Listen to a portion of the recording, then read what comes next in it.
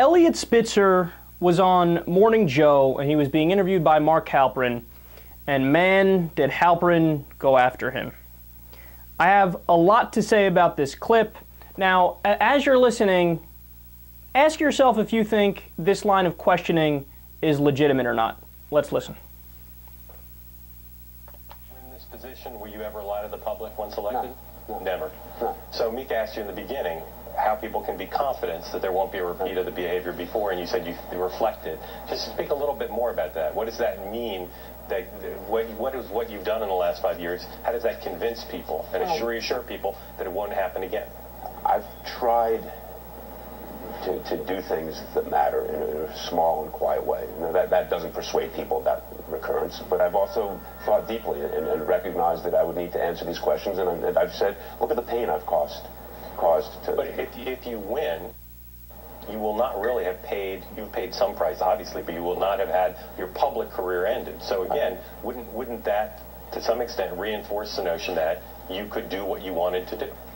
I'm not quite sure. I mean, and, and I think that there has been a substantial price to be paid, and I'll let others, you know, determine big, small, adequate, or inadequate. But resigning the governorship and then dealing with the aftermath of that and dealing with everything that has flowed from it, that was a pretty significant. Are there any things people in elective office, a high office like governor of New York, could do that involve law breaking, lying to the public, that you would consider as a voter disqualifying, where nothing's disqualifying if a person comes back and says, look what I've done for the last five years, look at my great ideas? Or are there things that are Sure, sure, disqualifying? sure, like sure, what? there- Sure, there are. I mean, I, I think there's. What would be disqualifying? I, I think there is a difference between private and public lives, and I'm not the one to begin to articulate this distinction at this point because I'm, I'm in a, a uniquely bad position to try to articulate it.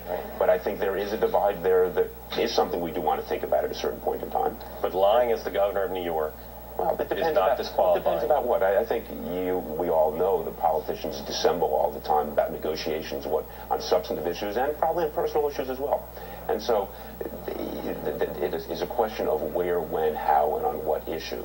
I, I think there's slightly greater subtlety to this in terms of the art of both governance and how you then determine whether what people have done is dis- So just one more. So is, is an elected official, governor of New York, comptroller of New York, lying about his or her personal life when asked about it in, in a public capacity, that's fine? No, I didn't say it's fine, but you asked if it was disqualifying. And I think that, again, I th- think we're going down here a path here where it requires more time to really parse out what that boundary is between the private and the public. Now, I'll give you something that's disqualifying. If people lie about their taxes, not having paid their taxes and all the rest, then I think that is disqualifying. But you lied about illegal activity. Well, I, I, I lied about personal sexual activity, yes, and, and I did that. I'm not trying to diminish it. You weren't lying about an affair, a consensual affair. You were lying about illegal activity. Okay, that's correct. So, you, you, but you're saying that lying about illegal activity to you is not Th- This is. I will let the public make that, de- that determination. I love how surprised Mark Halperin is that politicians lie. He's like, "Oh, Eliot, you told us a lie." Yeah, yeah, all politicians lie. Now, look, I'm not here to make excuses for Eliot Spitzer, but all they did was talk about his sex life. That's it. The entire thing was his sex life. Now, I want to answer one of the questions that Halperin asked there. He said, Is there any lie that would make it so somebody can't get elected? Yeah, there actually are some lies. You know what the worst lie is to me? When a politician says to the American people or to their constituents, Hey, I'm looking out for you. I care about the middle class, I care about the poor, I care about all of you.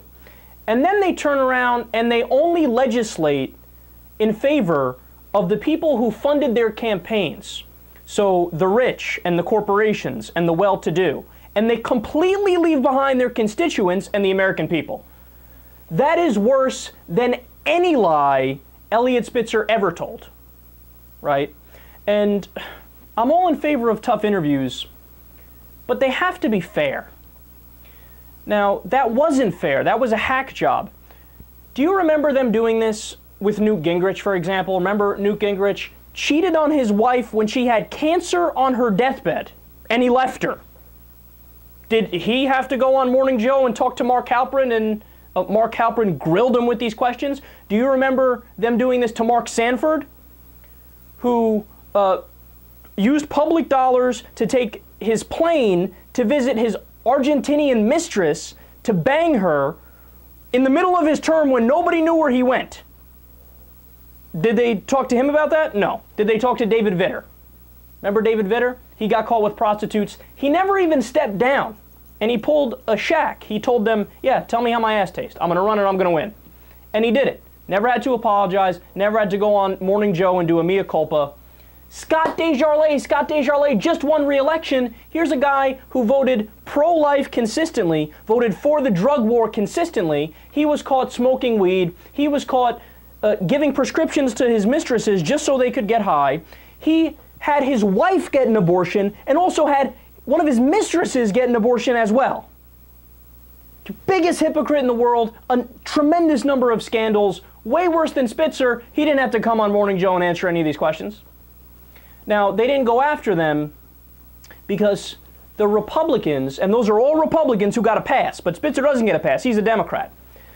The Republicans get a pass because they're such goofballs and they fuck up so often that if the media reported honestly on the Republicans, it would appear as if the media has a bias. Now, it wouldn't be a bias because those things are facts, but it would appear like it's a bias because they'd be piling on. But since the Democrats aren't as ridiculous as often, whenever there's the opportunity to go after a Democrat like Spitzer for a sex scandal, they pounce. They pounce and they hammer it home. And then they look to Fox News and the right wingers and they go, see, we don't have a, liberal bias. We just went after uh, Eliot Spitzer unfairly.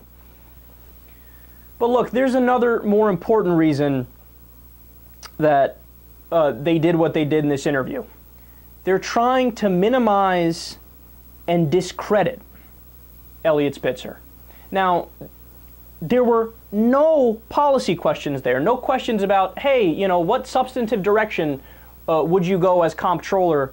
Uh, how would you look out for the American people, so on and so forth? Or how would you look out for the people in New York? Nope, none of it. It was all salacious, celebrity level gossip nonsense.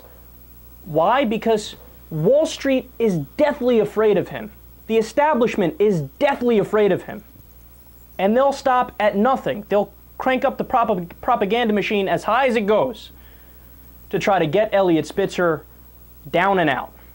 Now expect a lot more hack job interviews coming in the future.